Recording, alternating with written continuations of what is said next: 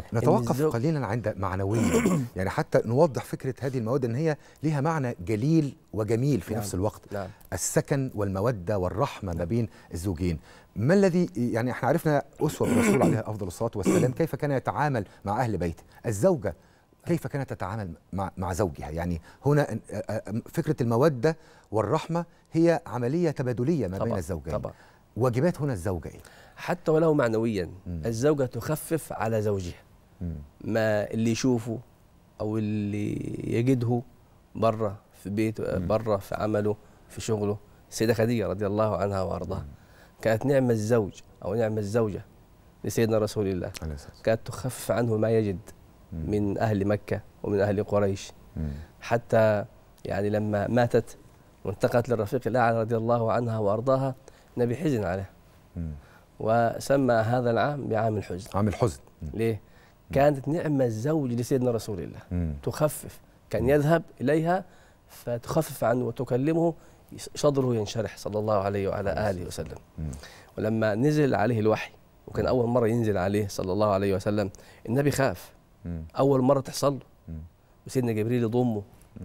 فذهب إليها مم. وقال لها زملوني زملوني زملون. غطوني مم. أنا خايف وذهب إليها يرتعد. يرتعش صلى الله عليه وعلى آله وسلم. فقالت له وهنا دورها رضي الله عنها وارضاها انت خايف على نفسك مم. كلا والله تخافش. والله لا يخزيك الله أبدا مم. وهنا الكلام المعنوي مم. اللي يعني يثبت الزوج على ما يجده من تعب الحياة الدنيا.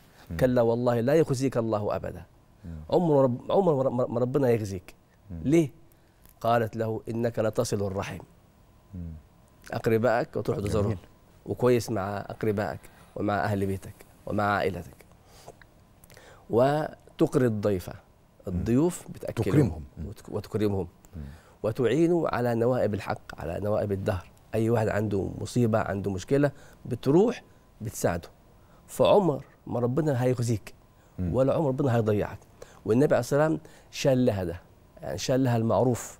بتاعها رضي الله عنها وأرضاها. لما طبعا كان النبي يحبها حب آه، شديد. فكان يعني آه، يكثر آه، ذكرها أمام آه، زوجاته. صلى الله عليه وعلى آله وسلم. حتى غارت السيدة عائشة مم. مع انها كانت انتقلت. يا رسول الله يعني أراك تكثر آه، من ذكرها. وهي كانت امرأة آه، آه، كبيرة. وأنت يعني تزوجتها آه، وهي ثيب يعني كانت متزوجة ق- قبل. كده وقد أبدلك الله خيرا منها. تقصد نفسها. يعني بكر وصغيرة فنبقى ليه لا عياش لا والله ما أبدلني الله خيرا منها.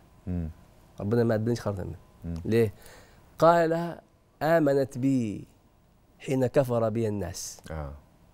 وصدقتني حين كذبني الناس مم. شوف الثالثة. وواستني بمالها حين حرمني الناس آه. السيدة خديجة كانت من أكثر أهل قريش مالا. كانت معها فلوس. وكانت معها تجارة مم. فأنفقت كل مالها. على سيدنا رسول الله. مش واجب عليها مم. إحسانا منها إلى زوجها مم.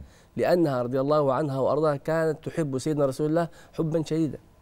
فكانت تنفق عليه وكانت تعطيه المال خدمة له وخدمة أو حسبة لله تبارك وتعالى حتى يتفرغ سيدنا رسول الله صلى الله عليه وعلى آله وسلم لأمور الدعوة ولأمور الدين. فكانت تساعده صلى الله عليه وعلى آله وسلم. فدي الزوجة. الزوجة العاقلة جميل إنها تكون سبب في إدخال السرور والمودة وأن والرحمة على- تواسيه وأن. تقف تقف إلى جواره آه طبعا. والعكس صحيح